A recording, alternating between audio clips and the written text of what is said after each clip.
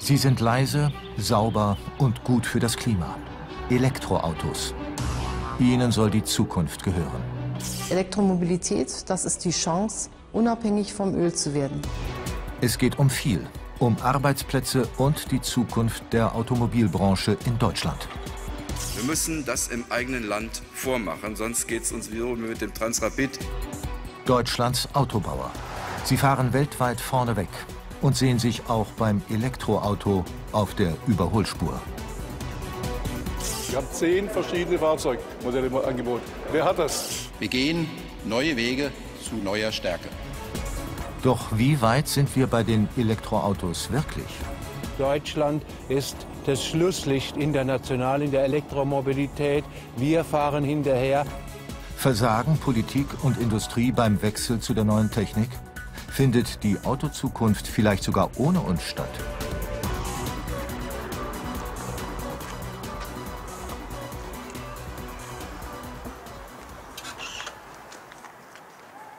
Wir sind in München. Ein brandneuer Elektrosmart wird mit den Logos des Arbeiter-Samariter-Bundes, kurz ASB, beklebt. Der Wohlfahrtsverband will Flagge zeigen. Sein Pflegedienst soll mit Ökostrom und ohne Abgase fahren. Gut für das grüne Gewissen. Grüß Gott. Hallo, Was Wie schaut's aus?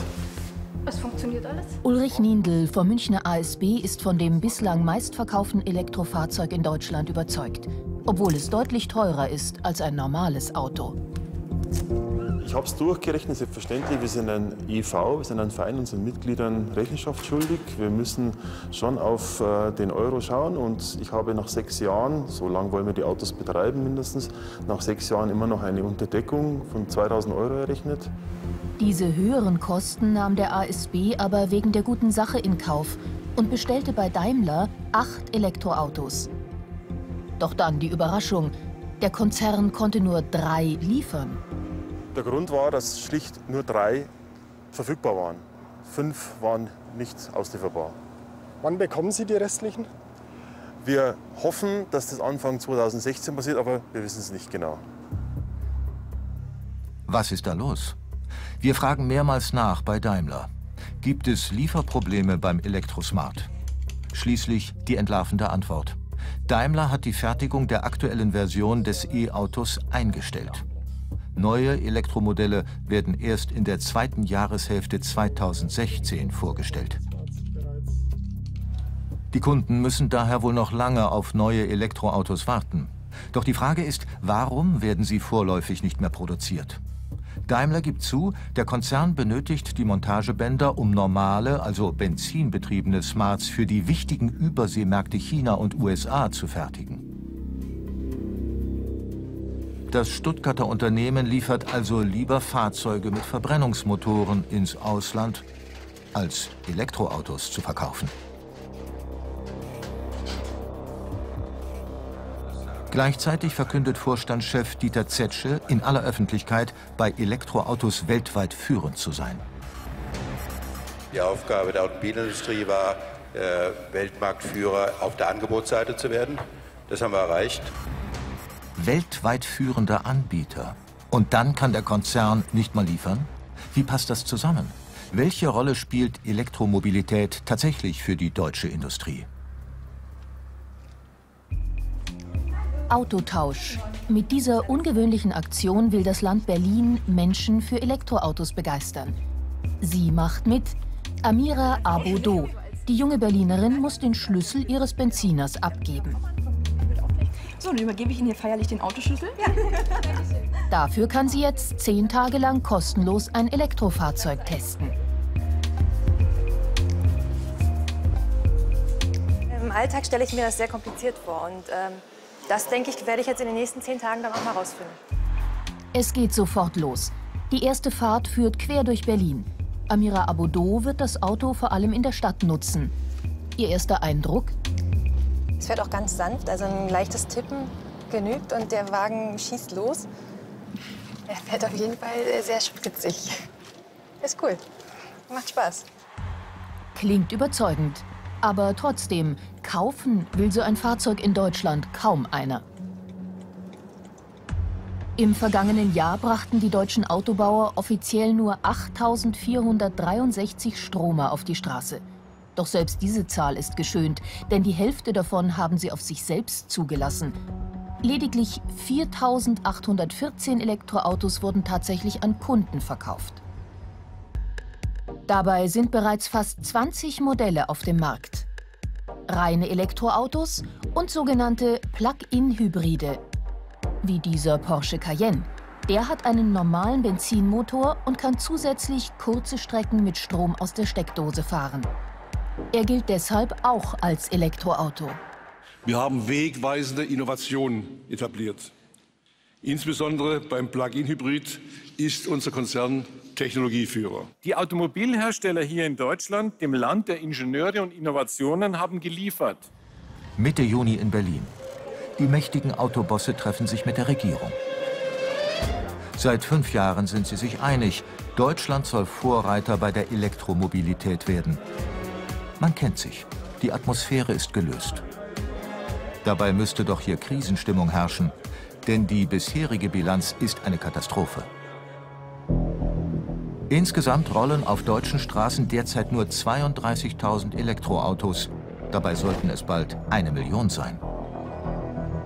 Diese eine Million Elektroautos bis zum Jahr 2020, die die Kanzlerin in die Welt gesetzt hat, das ist mittlerweile eine Märchengeschichte, unmöglich zu erreichen. Die Kanzlerin kommt. Sie trifft auf die Chefs von Konzernen, die Milliardengewinne einfahren. Trotzdem haben die Bosse nur eines im Sinn, Geld vom Staat. Jetzt ist die Politik am Zug. Sie hat es selbst in der Hand, wie schnell E-Mobilität vorankommt. Wir würden uns freuen, wenn es irgendwelche steuerlichen Anreize geben würden.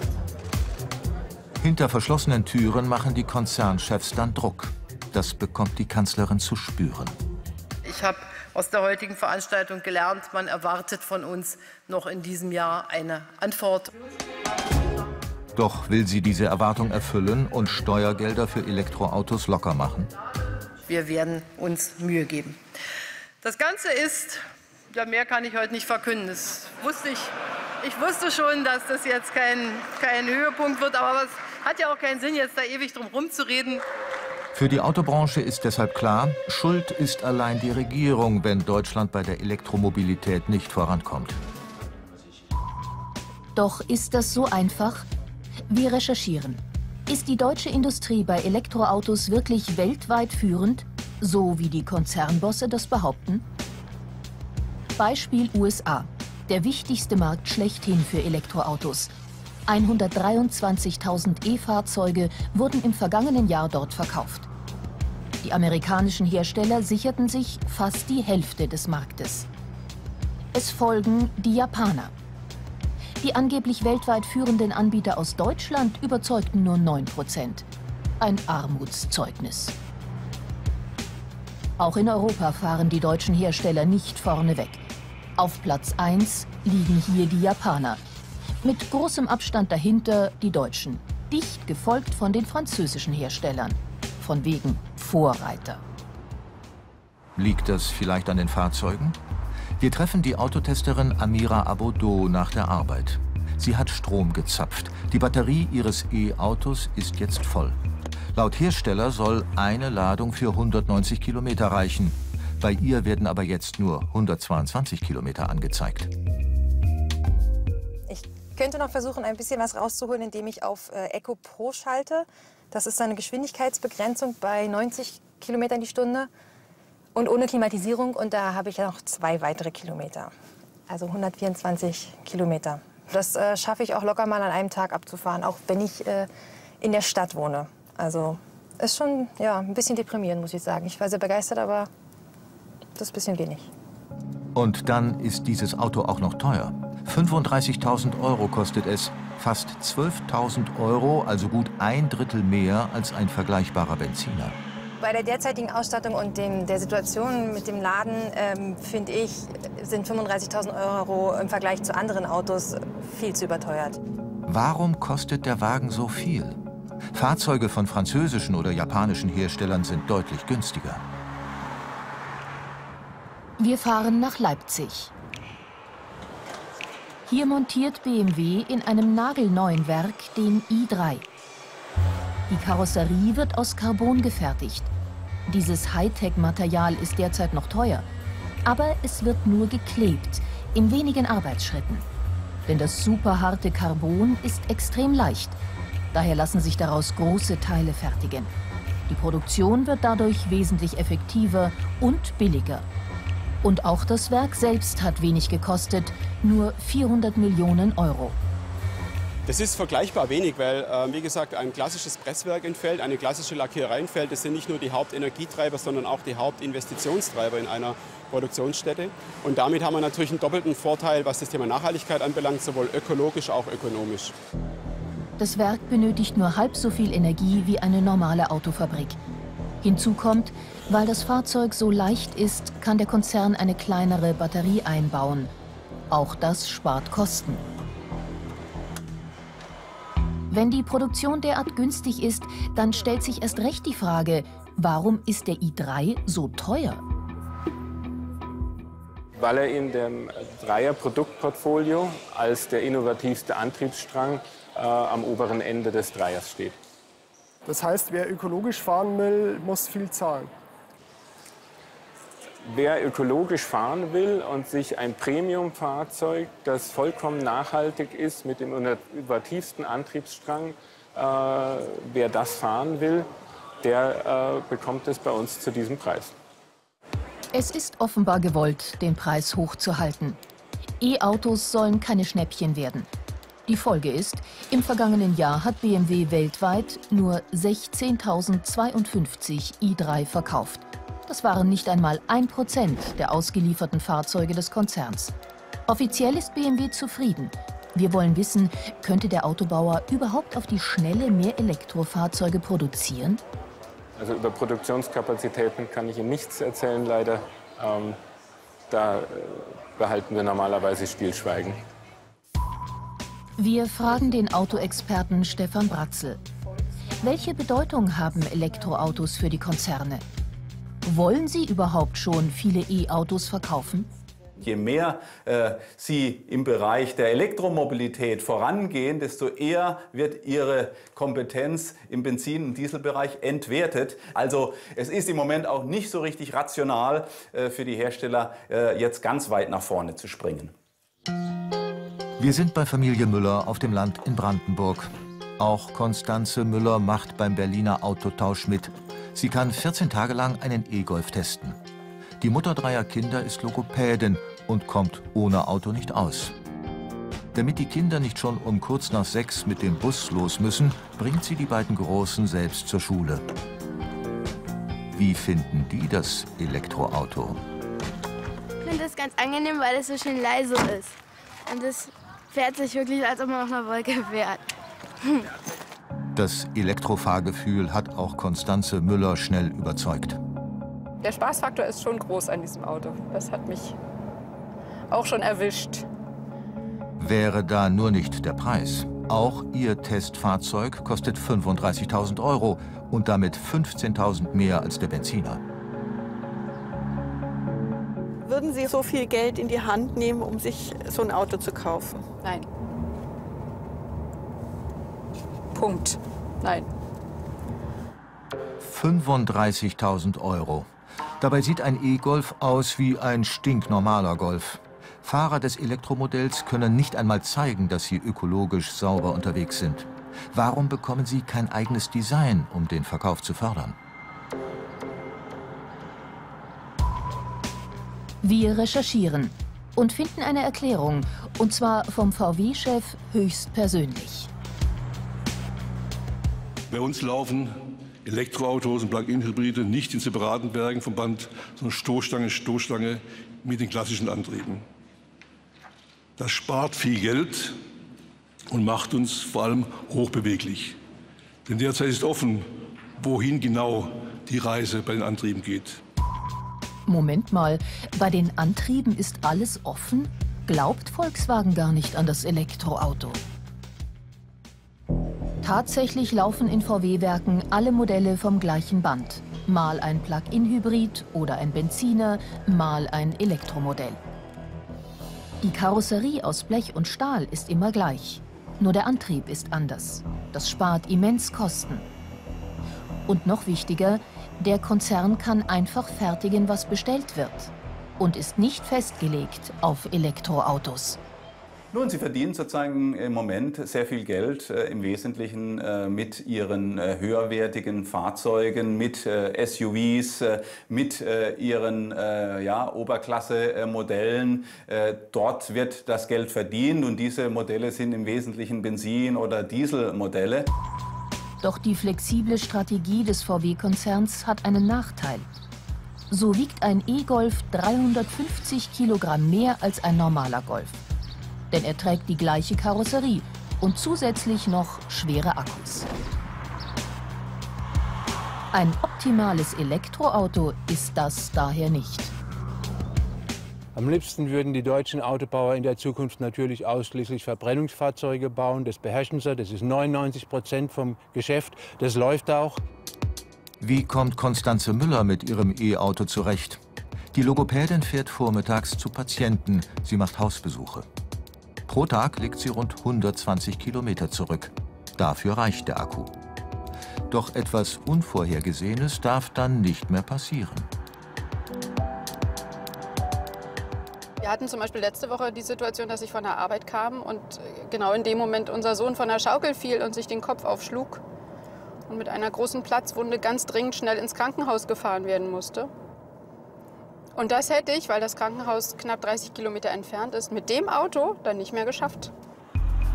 Und wie ist das beim Autotausch in der Stadt? Auch Amira Abodo hatte mit der geringen Leistung der Batterie schon Probleme.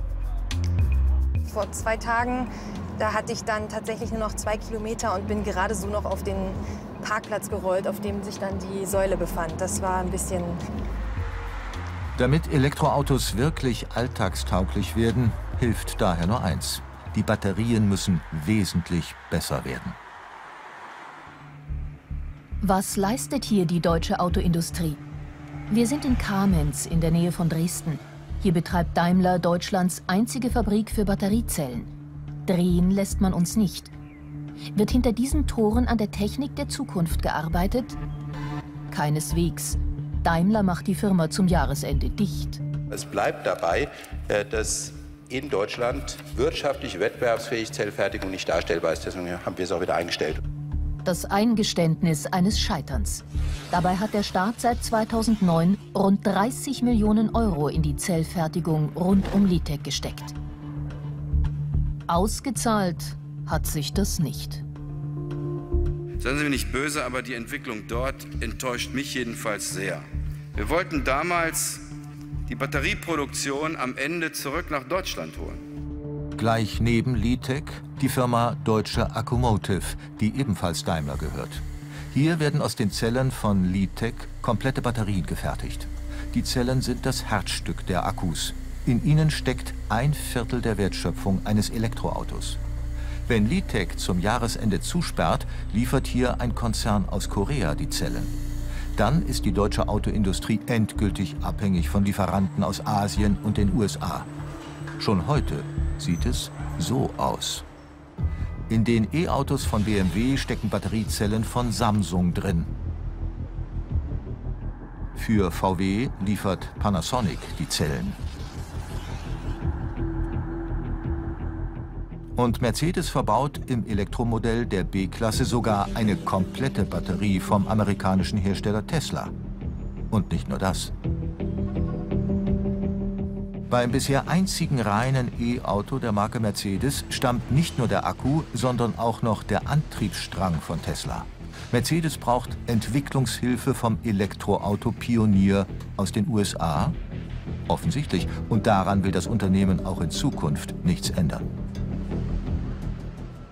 Wir werden auch zukünftig zusammenarbeiten, vor allem natürlich bei der B-Klasse Electric Drive, deren Antriebsstrang von Tesla stammt.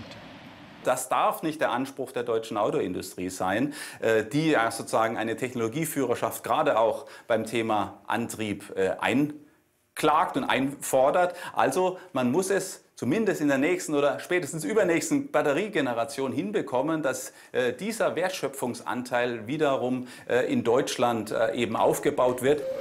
Können Forschung und Industrie in Deutschland das schaffen?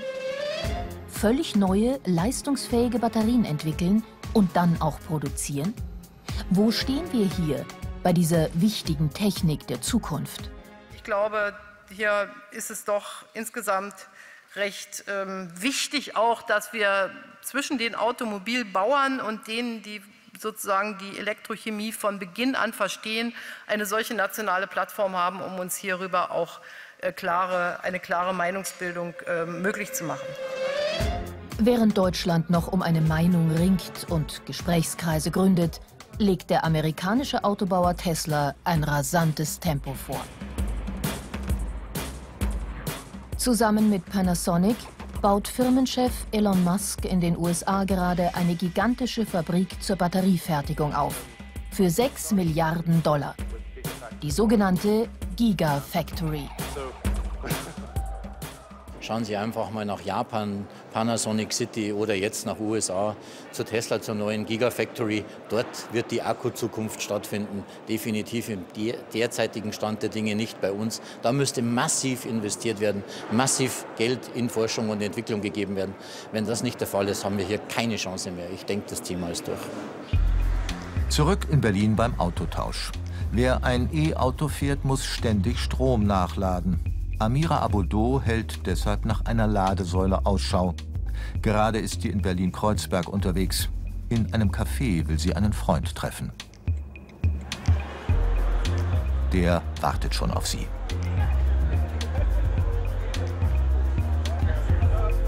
Hallo. Na? Ich muss nur kurz mal gucken, ob ich hier eine Ladesäule finde. Keine Ahnung. Okay, gleich da drüben. Okay. Gibt es eine Tankmöglichkeit in der Nähe? Auf die Schnelle findet sie keine. Sie sucht im Navi. Die nächste Säule ist 1,2 Kilometer entfernt. Ziemlich weit. Naja, äh, ist jetzt nicht so, wie ich mir vorgestellt habe. Das wäre ja dann blöd, dann müsste ich wieder zurücklaufen. Ich glaube, ich lade das Auto dann doch erst, wenn ich zu Hause bin.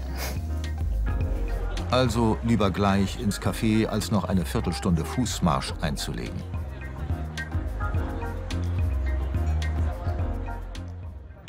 Nur ein Beispiel. In Amsterdam wäre ihr das nicht passiert. Dort stehen Stromtankstellen an jeder Ecke.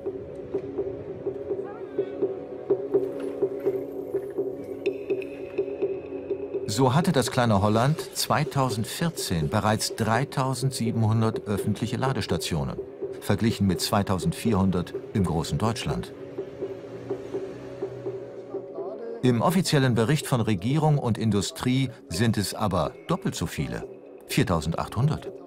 Ein Rechentrick. In Deutschland zählen sie Ladepunkte. Je zwei Ladepunkte ergeben eine Ladestation. Und in allen anderen Ländern werden die Ladestationen gezählt. Finden Sie das? Das ist ein bisschen Märchen, würde ich sagen. Ne? Ja, Märchen. Wird da die Wirklichkeit geschönt? Jo, ist so. Bei Konstanze Müller auf dem Land etwa gibt es überhaupt keine öffentliche Ladesäule. Ihr Wagen hing nach der Arbeit kurz am Kabel. Sie will jetzt nach Berlin fahren, um ihre Schwester zu besuchen. Tschüss. Reicht der Akku jetzt dafür aus? 31 Kilometer müssen wir noch und 47 Kilometer ähm, Akkuladung hat er noch. Um auch wieder zurückzukommen, braucht sie in Berlin eine Schnellladestation. Bei der kann sie in einer halben Stunde volltanken, statt wie sonst in acht Stunden. Doch wo steht so eine Ladesäule? Keine Sonderziele gefunden. Bitte Suchkriterien ändern. Vielleicht hilft eine Handy-App. Unbedingt schnell wichtig. laden. Ja. Sechs Ladestationen nur, an denen ich schnell laden könnte. In ganz Berlin. Hm. Boah, das ist ja nicht viel. Nur gut eine Handvoll Schnellladesäulen. Und das in der Millionenstadt Berlin. Davon steht eine einzige in vertretbarer Nähe zu ihrer Schwester. Die steuert Konstanze Müller jetzt an. Glück gehabt. Der Platz ist frei. Jetzt muss sie sich anmelden. Dann sollte das Auto in einer halben Stunde wieder volle Reichweite haben. Hier steht Restzeit eine Stunde 20 Minuten. Versprochen war eigentlich eine halbe Stunde. Das ist deutlich länger, ist ja fast dreimal so lang. Das finde ich nicht mehr komisch. Für Schnellladen, also. Tja, Stationen zum Flottenladen sind rar. Und sie hat eine erwischt, die nicht wirklich schnell laden kann. Wie sieht das in anderen Ländern aus? In England ist das Schnellladenetz gut ausgebaut. Mit Turbostromtankstellen übersät ist auch Holland. Und in Deutschland? Weite Teile Brachland. So findet sich auf der Strecke von Hamburg nach Berlin keine einzige Station zum Schnellladen. Das mit der Schnellladeinfrastruktur in Deutschland kann man als katastrophal bezeichnen, weil einfach die Linien, die damit bestückt werden hätten sollen, allein die Aussage reicht, glaube ich, schon, nicht gemacht wurde. Es ist einfach nichts vorhanden oder nur sporadisch. Er verspricht, das zu ändern. Bundesverkehrsminister Alexander Dobrindt. Wir wissen, dass wir etwas äh, zu erledigen haben, was die Ladeinfrastruktur mit betrifft. Wir werden in den nächsten drei Jahren 400 Autobahnraststätten in Deutschland mit Elektroladesäulen ausstatten. Ist das dann der Durchbruch?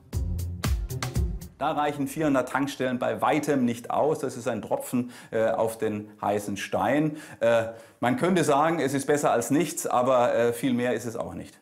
Elektromobilität in Deutschland scheitert daran, dass erstens wenig Geld in die Hand genommen wird und das, was man in die Hand nimmt, das verzettelt man. Wir recherchieren. Wofür gibt die Bundesregierung eigentlich Geld aus, um die Elektromobilität voranzubringen? In einer Datenbank finden wir hunderte Projekte der deutschen Autobauer, die der Steuerzahler finanziert. Beispiel VW. Der Wolfsburger Konzern hat unter anderem fast 3 Millionen Euro vom Staat kassiert, um bis 2016 einen Plug-in-Hybrid im oberen Fahrzeugsegment zu entwickeln. Seltsam. Der Konzern hat doch gerade einen solchen Plug-in-Hybrid vorgestellt, den Passat GTE. Wieso braucht Volkswagen dann noch Hilfe vom Staat? Zumal der Konzern im vergangenen Jahr ein Rekordergebnis von 12,7 Milliarden Euro verkündet hat. Auch BMW hat Milliarden Euro Gewinn gemacht. Aber für diese schicke Schnellladesäule vor der BMW-Welt in München musste der Steuerzahler aufkommen. Und zwar mit fast 900.000 Euro. Und Daimler bekam 1,8 Millionen Euro für ein Projekt, damit die eigenen Konzernmitarbeiter per E-Fahrzeug zur Arbeit pendeln können. Dafür wurden 260 Stromer angeschafft. Natürlich aus dem Hause Daimler. Insgesamt zeigt sich, die Autokonzerne kassieren wesentlich mehr, seit es staatliche Gelder für Elektroautos gibt. So hat zwischen 2001 und 2007 Volkswagen 13,3 Millionen Euro erhalten. In den sieben Jahren danach war es dann fast neunmal so viel. Bei BMW stieg die Förderung auf das Fünffache an. Bei Daimler verdreifachten sich die Subventionen vom Staat. Konkrete Projekte äh, zu bezuschussen von Automobilherstellern ist äh, aus meiner Sicht nicht notwendig und auch nicht zielführend. Die Automobilhersteller werden sozusagen an dem Thema immer dann arbeiten, wenn sie sozusagen äh, eine Zukunftschance drin sehen. Und äh, um das zu tun, äh, ist genug Forschungsgeld auch bei den Unternehmen zur Verfügung. Da braucht es wenig ja, Forschungsförderung von öffentlichen Stellen. Muss der Steuerzahler denn überhaupt Geld in die Hand nehmen, um Elektroautos auf die Straße zu bringen? Nein, das muss er nicht. Eigentlich reichen nämlich gesetzliche Vorgaben. Und die gibt es bereits. Denn schon heute müssen die Autobauer CO2-Ziele aus Brüssel erfüllen. Im Schnitt darf die Flotte eines Herstellers derzeit 130 Gramm CO2 pro Kilometer ausstoßen. Das schafft die Industrie, obwohl sie immer mehr spritschluckende Geländewagen verkauft. Doch 2020 sieht das ganz anders aus. Dann müssen die Autobauer 95 Gramm pro Kilometer erreichen, und zwar für die gesamte verkaufte Flotte. Dafür brauchen sie die Elektroautos, und zwar viele, wie der Industrieberater Thomas Göttle errechnet hat. Um die Zielvorgaben in 2020 erreichen zu können, muss der Anteil der Elektrofahrzeuge bei 20 Prozent liegen. Das bedeutet eine Steigerung von 2000 Prozent innerhalb von sieben Jahren. Was würde geschehen, wenn das nicht gelingt? Falls es nicht gelingen sollte und äh, die deutschen Hersteller die CO2-Vorgaben reisen sollten, bedeutet das ein empfindlicher Imageverlust bei gleichzeitigen Strafzahlungen in Milliardenhöhe. 20 Prozent Elektroautos. Wie soll das gehen? Wir sind in Kitzbühel. Hier stellt Mercedes den neuen GLE Geländewagen vor. Solche schweren Autos sollen die CO2-Bilanz retten? Ist das wieder ein Märchen? Tatsächlich gibt es von dem Modell einen sogenannten Plug-in-Hybrid. Den kann die Autopresse hier testen. Wir begleiten Frank Mertens, Chefredakteur eines Automagazins. Der Wagen hat einen Benzinmotor mit 330 PS an Bord und zusätzlich einen Elektroantrieb mit Batterie, die man an der Steckdose aufladen kann.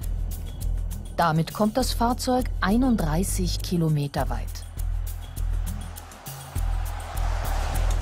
Wir bewegen hier ja so fast zweieinhalb Tonnen äh, und äh, das ist natürlich ein, ein Trumpf von Auto und dann habe ich hier die Option halt elektrisch unterwegs zu sein und das gibt ein gutes Gefühl und auch entsprechend gibt das so einen Spaßfaktor, ja.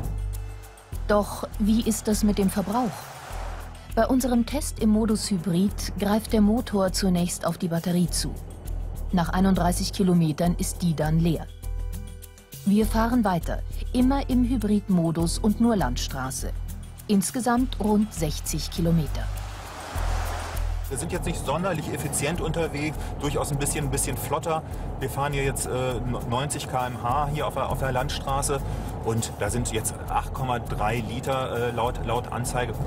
Okay für ein Auto. Dieses, dieser Größe, dieses Segmentes, da kann man auch nicht wirklich meckern. Doch Moment, 8,3 Liter Mehr als doppelt so viel wie offiziell angegeben?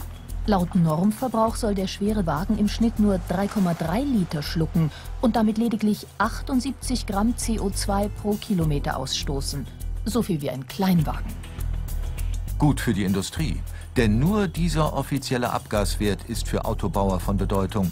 Er drückt die CO2-Flottenbilanz nach unten. So wird die Umweltbilanz geschönt.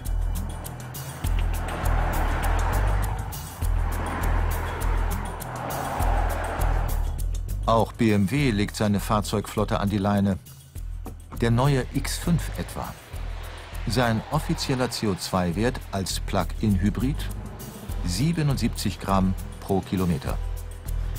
Schwere Autos mit gleich zwei Motoren sollen also die Umweltbilanz retten am Ende des Tages wird äh, jeder Hersteller für diese Ziele, die CO2-Ziele des Jahres 2020, äh, so viele Elektrofahrzeuge in sein, seiner Flotte äh, installieren, sodass es gerade zum Erreichen der äh, CO2-Grenzwerte reicht. Und so günstig wird man dann die Fahrzeuge machen, dass eben genug Fahrzeuge auch verkauft werden. Das wird sicherlich die Rechnung sein. Auch Audi setzt auf Plug-in-Hybride. Alexander Götz fährt einen A3 e-tron mit Benzin- und Elektroantrieb im Rahmen eines Pilotprojektes. Offiziell kommt der Wagen sogar auf einen wesentlich geringeren CO2-Wert als ein Kleinwagen, nur 35 Gramm pro Kilometer. Und er schluckt angeblich nur 1,5 Liter. Wie realistisch ist das? Dieses Fahrzeug lässt sich im Schnitt mit 3,5 bis 4 Litern pro 100 Kilometer bewegen. Also in der Praxis mehr als doppelt so viel wie von Audi angegeben. Wie kommen die sagenhaft niedrigen offiziellen Werte zustande, die fast alle deutschen Autobauer angeben? Die Lösung sehen wir im ADAC Technikzentrum in Landsberg. Hier misst der Automobilclub, wie viel CO2 Fahrzeuge ausstoßen. Alex Knöfel kennt deshalb die Tricks, mit denen Autobauer die offiziellen Messungen schönen. Da ist es durchaus äh, Praxis, dass man mal den rechten Außenspiegel abnimmt, um ein bisschen weniger Luftwiderstand zu haben. Da ist es Praxis, dass man diese Spaltmaße mit Tape, mit Klebeband maskiert, um das Fahrzeug windschlüpfriger zu kriegen. Und im äh, Extremfall werden sogar Radkästen nochmal abgeklebt, nur damit das Auto ein paar Meter länger rollt. Auch bei der Batterie wird getrickst. Die kann vor dem Test voll aufgeladen sein und darf dann Aggregate antreiben, die normalerweise der Motor speist. Erlaubt ist teilweise auch, das Fahrzeug leichter zu rechnen, als es eigentlich ist. In der Summe, wenn man alle Schlupflöcher tatsächlich optimal ausnutzt und äh, trotzdem noch die Richtlinie einhält, sind sicher 15 bis 20 Prozent holbar. Und das ist doch eine beachtliche Größe. Wohlgemerkt, diese Tricksereien sind bei allen Messungen völlig legal. Bei Plug-in-Hybriden kommt noch etwas Besonderes hinzu. Eine spezielle Rechenformel, die so tut, als ob mit dem Verbrennungsmotor immer nur kurze Strecken gefahren würden. Die Formel aus der Typgenehmigungsrichtlinie setzt voraus, dass ich mit meinem Plug-in-Hybriden alle 25 Kilometer an die Steckdose gehe. Und das sieht in der Praxis äh, ganz anders aus. Die Leute haben doch ein anderes Nutzungsverhalten mit den Autos und sind dann doch enttäuscht, wenn sich der Wert, der so schön im Prospekt aussah, in der Praxis nicht zeigt. Eigentlich sollte es damit bald vorbei sein. Denn für die Flottenbilanzen sollen ab 2020 weltweit neue Regeln zur Abgasmessung gelten. Wie die in der EU umgesetzt werden, darüber ringen Politik und Industrie derzeit heftig hinter den Kulissen. Uns liegen zahlreiche Dokumente vor, die zeigen, die Autolobby nutzt ihre ganze Macht, um strengere Messverfahren zu verhindern. Das wird ihr leicht gemacht, denn die EU-Kommission lädt die Lobbyvertreter regelmäßig zu Sitzungen ein. Dort erhebt vor allem der Europäische Autoverband ACEA e dann Forderungen. Was damit passiert, zeigt dieses Dokument. Die EU folgt zigmal den Vorschlägen des ACEA e oder berücksichtigt dessen Bedenken.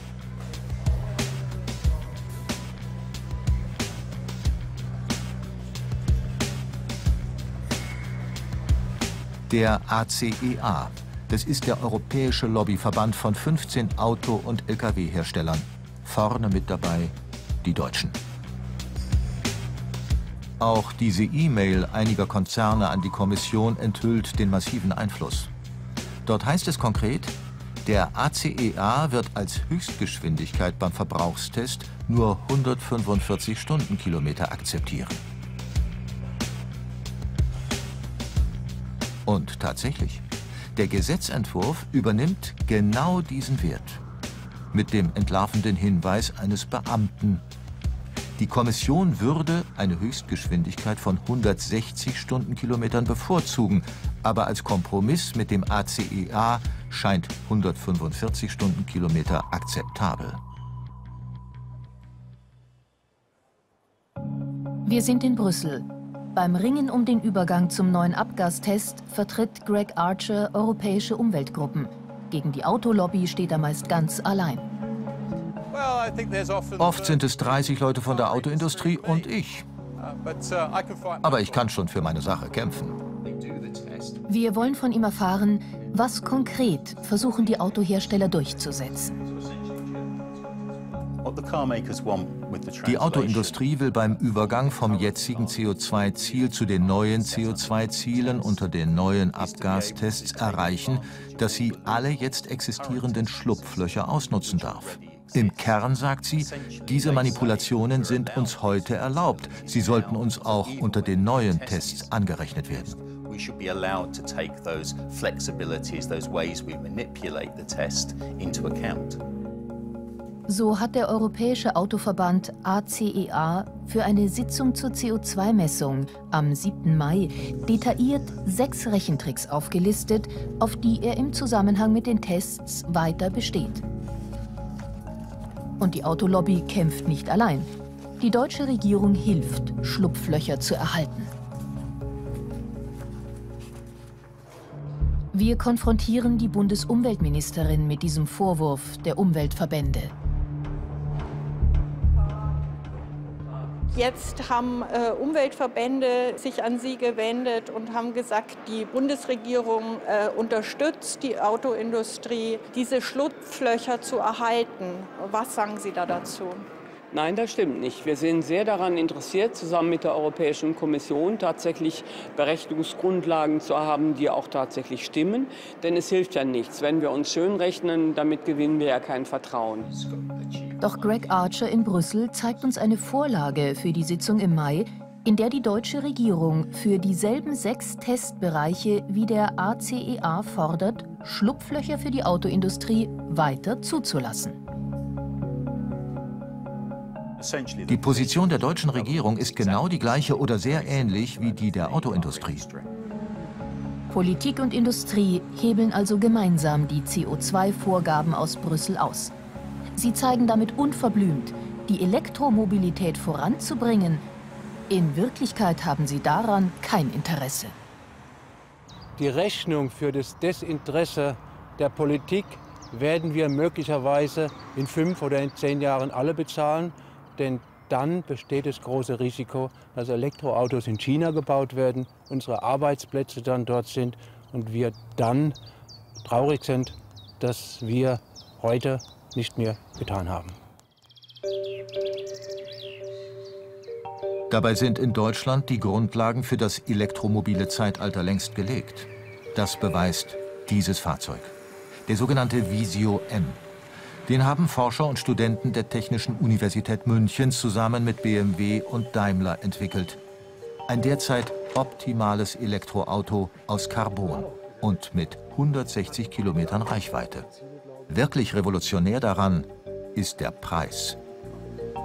Wir haben von der TU München mit unseren Kostenmodellen dieses Fahrzeug durchgerechnet und mit ähm, Annahmen, dass Batteriepreise noch mal deutlich sinken werden bis zum Jahr 2020 und wir davon ausgehen, wir gehen in große Stückzahlen, könnte man so ein Fahrzeug für etwa 16.000 Euro auch anbieten. Nur 16.000 Euro, ein erschwinglicher Preis. Doch von den deutschen Autobauern hat bisher keiner daran Interesse. Wird der Wagen überhaupt je gebaut? Wir zeigen das Auto auch bei allen entsprechenden Partnern vor. Unser Fahrzeug ist bis Asien hinweg bekannt. Wir hatten neulich ähm, auch Partner hier, die das ganz genau im Detail kannten. Ähm, ich glaube fest, dass das im nächsten Jahrzehnt in Serie kommen wird. Ich kann Ihnen nur nicht versprechen, ob es ein deutscher Hersteller sein wird. Wahrscheinlich läuft es also doch wieder so. Deutsche Technik und das Geschäft damit macht das Ausland. Und dann? Geht es uns wieder mit dem Transrapid. Da haben uns dann erst die Chinesen gezeigt, dass der nicht nur im Kreis, sondern auch geradeaus fahren kann. Und das darf uns nicht noch mal passieren.